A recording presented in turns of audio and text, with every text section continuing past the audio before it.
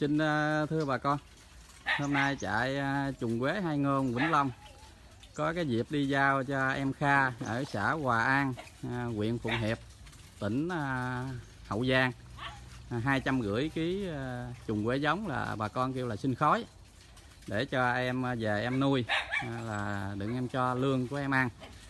Thì bà con thấy đây là cái những cái học lương à, em Kha nuôi theo cái quy trình là không bùng ha bà con thấy.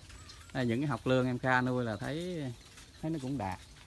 À, thì à, tôi phải đích thân tôi theo tôi chỉ cái cách để cho em Kha này à, nuôi theo cái con à, trùng quế mà không cần cho ăn bằng cái phân bò mà cho ăn bằng những cái à, phế phẩm nông nghiệp.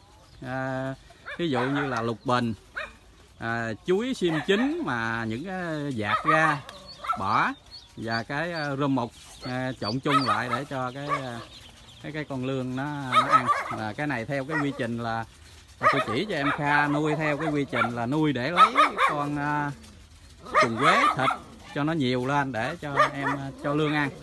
Thì bà con thấy tôi đi vòng vòng đây tôi à, lại cho bà con thấy à, tôi cũng có xin phép em cho tôi quay một cái clip là lương đây lương của à, em cái này đằng kia là bà xã của em Kha đang cho lương ăn. Kha ơi. Anh anh nha anh cho em, em cho anh hỏi. Cái cái lương này à, em nuôi được mấy tháng rồi? 8 tháng rồi. thì à, bà con thấy đây à, em Kha đang đứng trước mặt tôi đây.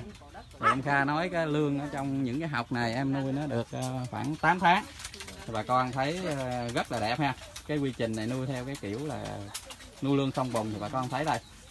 Thì em Kha tận dụng được cái lục bình ở sau hè à, và những cái rơm mục và những chú chín rồi ở vườn bỏ đó à, rác thải nhà bếp và để em à, cho con lương ăn.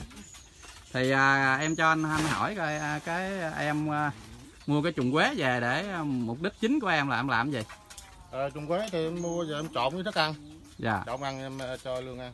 À, có nghĩa là em muốn cho con lương ăn thì em lấy khoảng vài trăm gram à, trùng quế rồi em xay nhuyễn ra rồi em trộn với thức ăn công nghiệp cho con lương ăn đúng không? Ờ đúng rồi à, thì ờ, rồi à, cái phân trùng quế là chắc cái mục đích của em em nữa em à, lấy cho em gãi vô ba cái mít của em đây hả? Cây, à, cây ăn trái.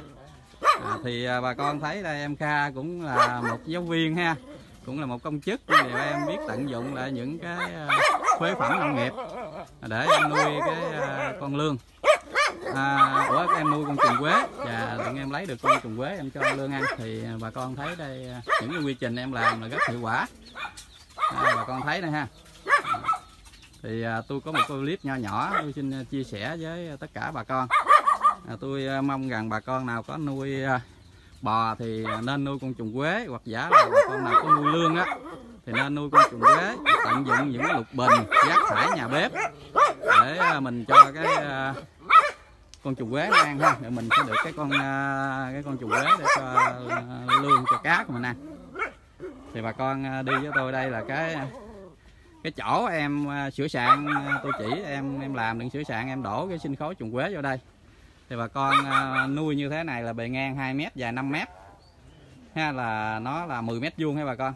Thì đổ vô nuôi tối thiểu là khoảng 200 cho tới 250 kg sinh khối trùng quế giống.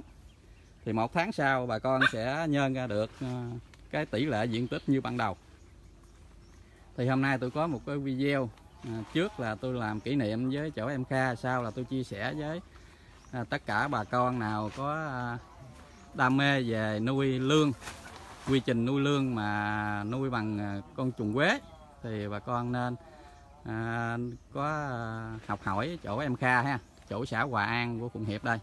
À, tôi xin à, chúc bà con được nhiều sức khỏe à, dạng sự như ý à, tôi xin chào.